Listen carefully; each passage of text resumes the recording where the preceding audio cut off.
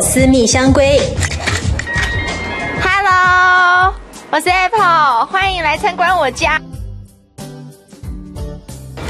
我才刚搬进来三个月，应该算是个很新的家。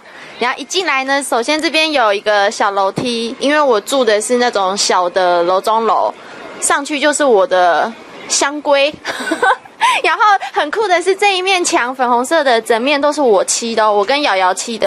Apple 月付租金一万六千元，住进只有九平大的超小套房，空间小到连采访团队都不知道该站在哪才好，几乎被他的杂物给占据啦。很简单，因为我可能回到家，因为看看电视、吃东西就是在楼下，然后如果晚上要睡觉的话，就是上来睡觉或是用用电脑。所以我个人觉得我自己住在这边还蛮开心的，而且这边还蛮适合就是单身女生一个人住。